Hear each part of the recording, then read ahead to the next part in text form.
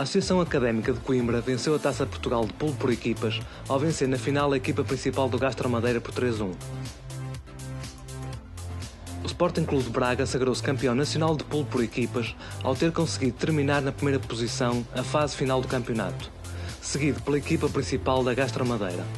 Ambas as provas decorreram no Hotel Golf Mar, no Vimeiro.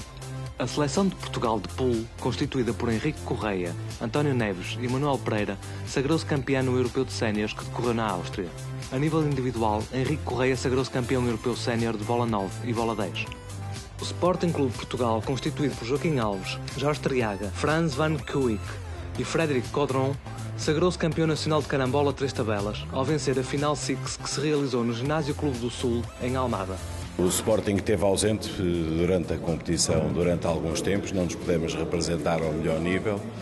E por motivos vários este ano resolvemos que não fazem agora, eh, não, não será um motivo para dar uma explicação detalhada. Nós este ano regressámos à competição, aliás foi lamentado durante anos que nós não apresentássemos a melhor equipa. E resolvemos regressar à competição. eh, jogámos e é sempre bom jogar e ganhar. Essa aposta do Sporting é para manter para os anos futuros? Vamos ver, vamos ver como as coisas decorrem, porque da forma nós regressamos, jogamos limpos, não tivemos o mais pequeno problema com ninguém, nem com árbitros, nem com jogadores, nem com, nem com, com nada, correu-nos tudo bem, as pessoas receberam-nos extremamente bem, jogámos do ponto de vista desportivo e um dos motivos que nos levou a abandonar, de certa forma, a modalidade foi de facto coisas extra, extra competição. Eu penso que com estes jogadores seria possível fazer bastante melhor. Nós não tivemos, eh, tivemos sorte com o tempo para ir para a praia, mas não tivemos sorte com o tempo para jogar ao bilhar. É demasiado quente, o que diminui as capacidades dos jogadores, sabendo até por que por experiência, que a maior parte dos jogadores, felizmente vimos alguns jogadores jovens, mas muitos de nós já temos alguma idade e é difícil de suportar durante tantos dias seguidos um, uma temperatura destas que penso que não é o clube em causa que tem culpa, a culpa eventualmente São Pedro provocou, mas é bom para, para as pessoas irem para a praia, para jogar ao bilhar, não, talvez fosse bom pensarem em fazer esta prova noutra altura do ano, em que não corrêssemos esse risco, porque penso que os jogadores tiveram um nível técnico poderia ser bastante melhor. Sim, senhor. Muito obrigado, Jorge o Futebol Clube do Porto conquistou a Taça de Portugal de bilhar às três tabelas pelo quinto ano consecutivo, depois de bater o Leça Futebol Clube na final da competição, que se realizou no Dragão Caixa. A equipa vencedora alinhou com Rui Manuel Costa, João Ferreira, Santos Oliveira e Alípio Jorge.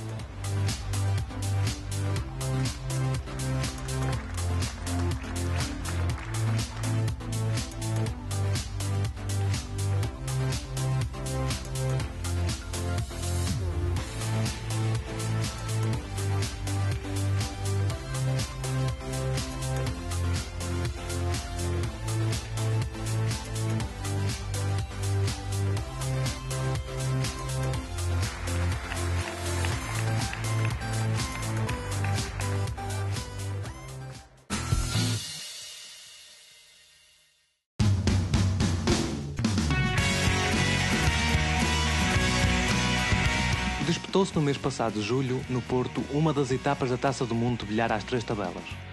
Mais uma vez, a Federação Portuguesa de Bilhar entregou ao Futebol Clube do Porto a organização da prova, que decorreu no Dragão Caixa. Na prova, que registrou recorde de participações, estiveram em ação mais de 200 jogadores, entre os quais algumas dezenas portugueses que ao longo da semana procuraram o apuramento para o quadro final. Vemos aqui Alípio Jorge, vice-presidente e atleta de Futebol Clube do Porto, diretor do torneio.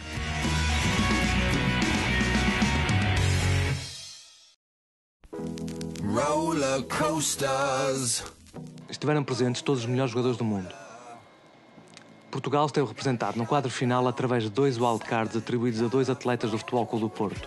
O campeão nacional Rui Manuel Costa, que viria a alcançar uma brilhante vitória nos 16 avos final, frente a um dos muitos coreanos presentes, sussurrando depois perante Born Blondal, o sueco que viria a ganhar o torneio.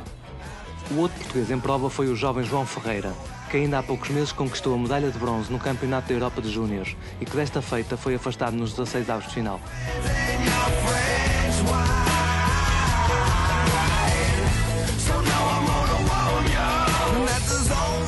Aqui algumas imagens das meias finais da prova, em que curiosamente três dos quatro atletas envolvidos representam o Futebol Clube do Porto. O já referido sueco Tori Born Blondal, que derrotou o holandês Dick Jaspers, e ainda o espanhol Daniel Sanches, que defrontou o coreano Wang Yang e com o qual viria a perder. Refira-se que o espanhol representa o Futebol Clube do Porto há cerca de 20 anos.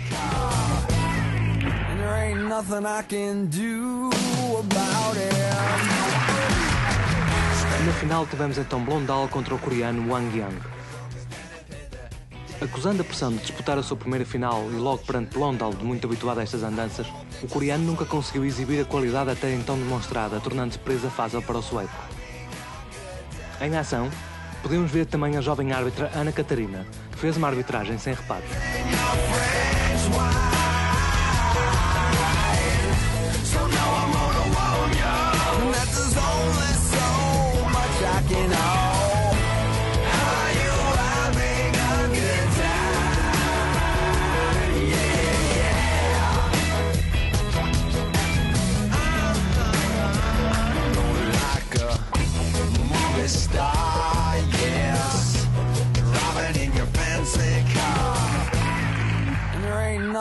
Can do about it. Spending money never matter, no. As long as paid the damage, yeah.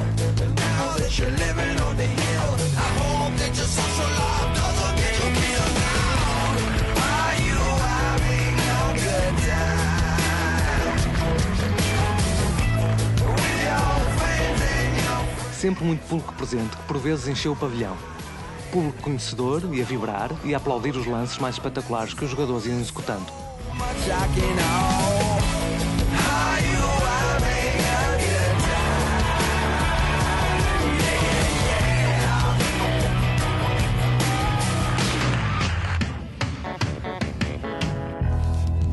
Depois de um início muito cauteloso e defensivo por parte dos dois jogadores, em que o coreano conseguiu equilibrar a partida, como se pode ver no resultado de 12-13, o sueco viria a embalar, tendo o coreano conseguido apenas mais uma carambola até ao final do encontro, que viria a terminar com uma vitória retumbante, com um resultado muito desequilibrado, 40-13 a favor do sueco, que efetuou uma segunda parte verdadeiramente demolidora.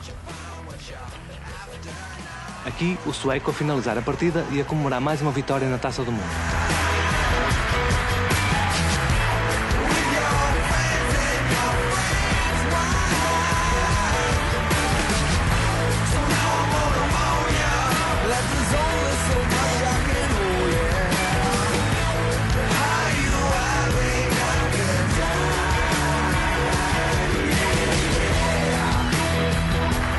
Cerimónia do pódio, com Sanchez e Aspas no terceiro lugar, Young em segundo e Blondal no lugar mais alto do pódio.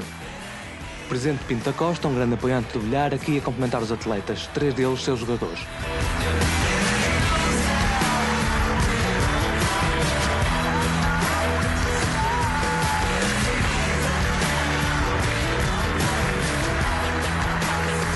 O pavilhão completamente cheio,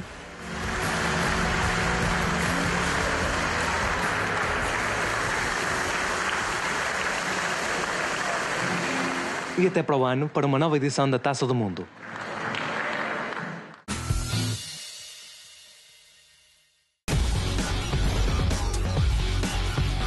Não havendo espírito de equipa e não havendo um bom espírito de grupo, as pessoas não se juntam à volta do mesmo sítio. Não há muita azia dentro do nosso grupo. o que eu noto é que, acima de tudo, é a união das pessoas.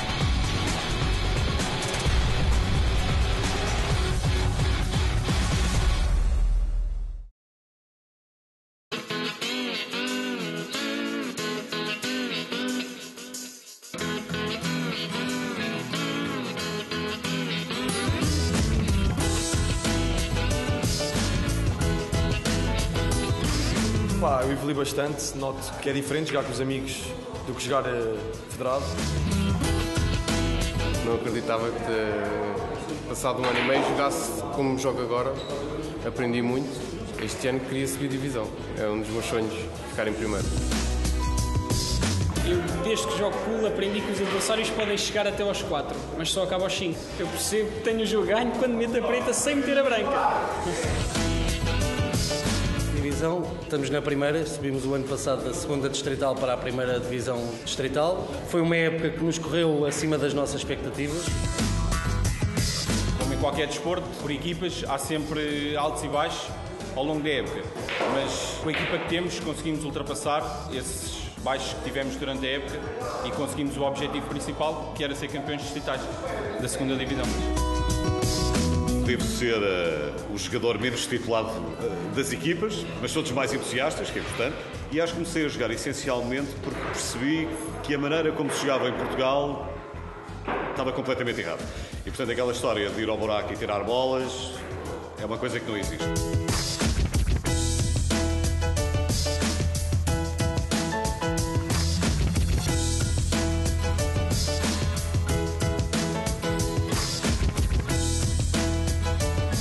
Foi um desenvolvimento da nossa iniciação que começámos a jogar pela uma brincadeira, com oito atletas, há seis anos. Uh, e passados dois anos formámos o, a, nossa, a nossa associação, já com 16 atletas, e depois tem havido um crescente e temos hoje perto de 50 atletas a representar a nossa associação.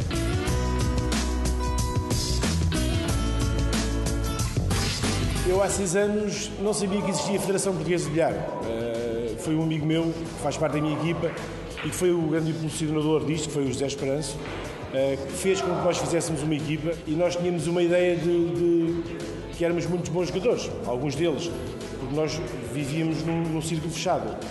E quando entramos na Federação, vimos que, que havia um mundo para descobrir.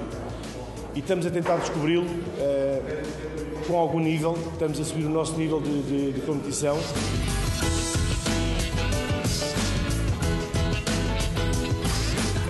Nível individual temos nas três divisões, primeira, segunda e terceira. Por equipas temos primeira e segunda, que este ano não tivemos equipas na terceira divisão. A equipa mais recente que eu tenho começou o ano passado a jogar e são jogadores que andam na média do, dos 20 anos. Nós, já com mais uma idade, temos o prazer de jogar, mas uh, temos que dar um espaço aos mais novos. Português é, é, a nossa vertente mais forte, porque foi onde nós começámos, nós já fomos três vezes campeões distritais, já ficámos em oitavo lugar a nível nacional, por equipas, já não vou falar nos individuais, temos um oitavo nacional e um, e um vice-campeão da segunda divisão. Um, portanto, não, não andamos aqui para, para ver passar o comboio.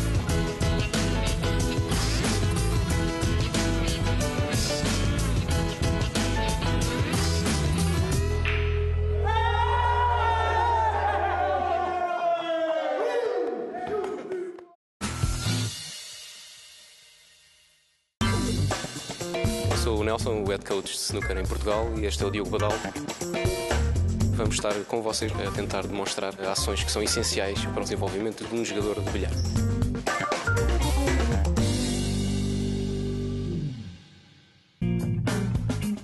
Hoje vamos falar de tacadas e de saídas naturais da bola branca. A tacada é o elemento-chave de um jogador de pulo. A tacada resulta de um fator mecânico, que consiste no braço direito estar vertical e solto no movimento do taco, e de uma posição na mesa que segura o taco. E essa posição denomina-se de bridge, ou de ponte. O movimento da tacada tem que ser solto, tem que estar fluido e tem que ser ao mesmo tempo consistente. A soma desses três fatores é que provoca uma entrada de bola ou uma reação na bola branca digna de um bom efeito. As saídas naturais da bola branca são três e são criadas ao acertar na linha central da bola branca. Uma saída de stun shot, é uma bola parada, uma saída top spin, em que a branca tem movimento à frente, e uma saída de screw shot, em que a bola branca é puxada de novo para o jogador. Estas tacadas são feitas de três formas completamente distintas. Ao acertarmos no setor superior da bola branca, a bola branca ao acertar na bola objeto tem tendências a seguir essa mesma bola. Ao acertarmos na zona inferior da bola branca, a bola tem sempre tendências ao acertar na bola objeto de voltar de novo para o jogador. E por fim temos o stun shot, que é considerada a saída natural da bola branca, em que a bola, ao acertar na bola objeto, ela para após esse mesmo contacto e fica imóvel. A combinação destas três tacadas e destes três movimentos permitem ao jogador obter um controle sobre o pulo e sobre a bola branca.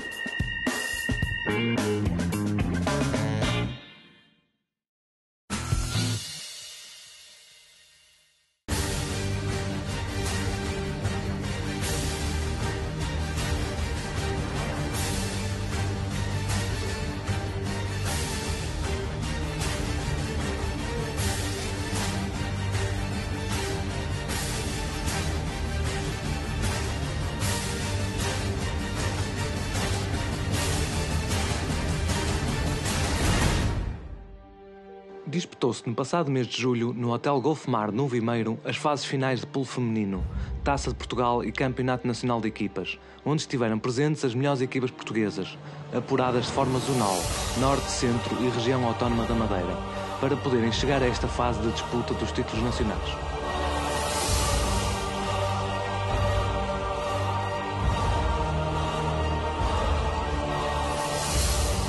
Tanto a Taça Portugal como o Campeonato Nacional foram disputadíssimos, contando com a dobradinha de Futebol Clube de Porto, que foi irrepreensível em ambas as provas. Estiveram presentes, entre outras equipas, o Futebol Clube do Porto, a Associação Académica de Coimbra, o Sporting Clube de Braga, o Pulp Fiction de São João da Madeira e CDCR-CTT do Funchal.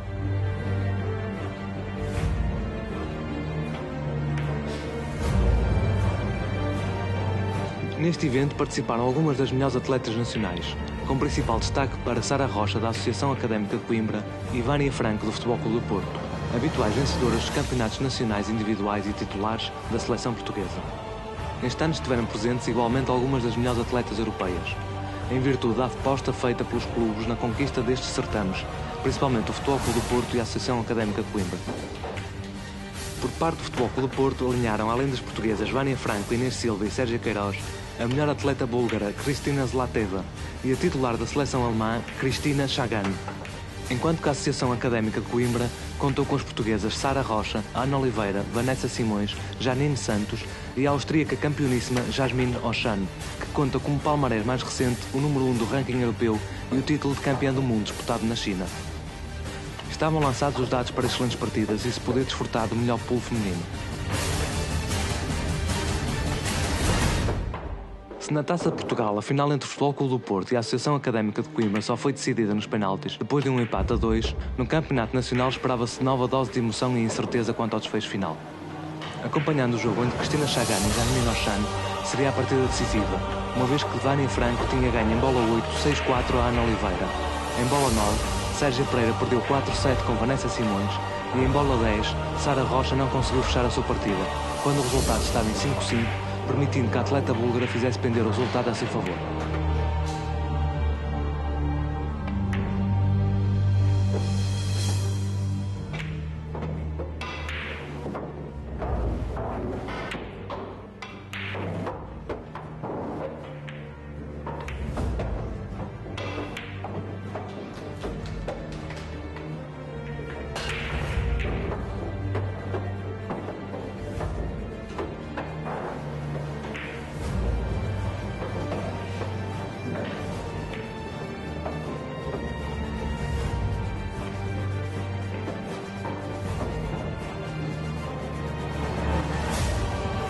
Nesta altura, Jasmine Ochan tinha a responsabilidade de empatar, porque a Académica não tinha cedido qualquer jogo em todos os confrontos, vencendo todos por 4-0, enquanto que o Futebol Clube do Porto tinha permitido ao Sporting Clube de Braga uma vitória. Assim sendo, a Académica leva vantagem e o empate servia para a atribuição do título.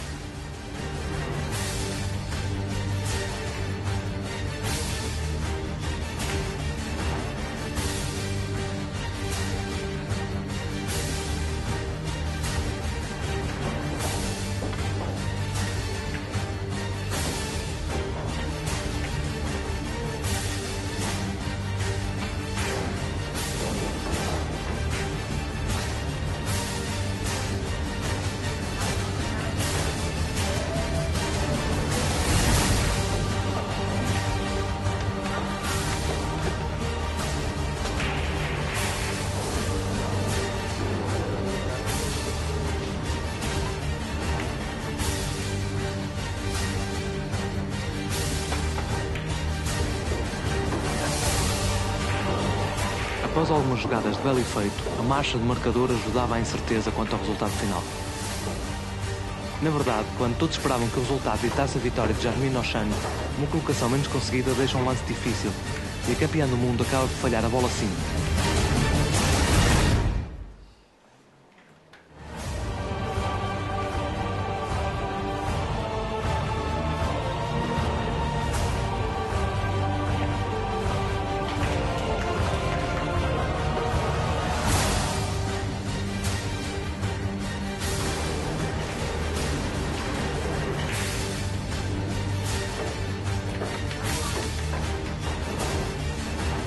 Tensão subiu, mas Cristina Chagan não vacilou e acabou por vencer a sua partida por 7-6, permitindo dessa forma a dobradinha ao Futebol do Porto.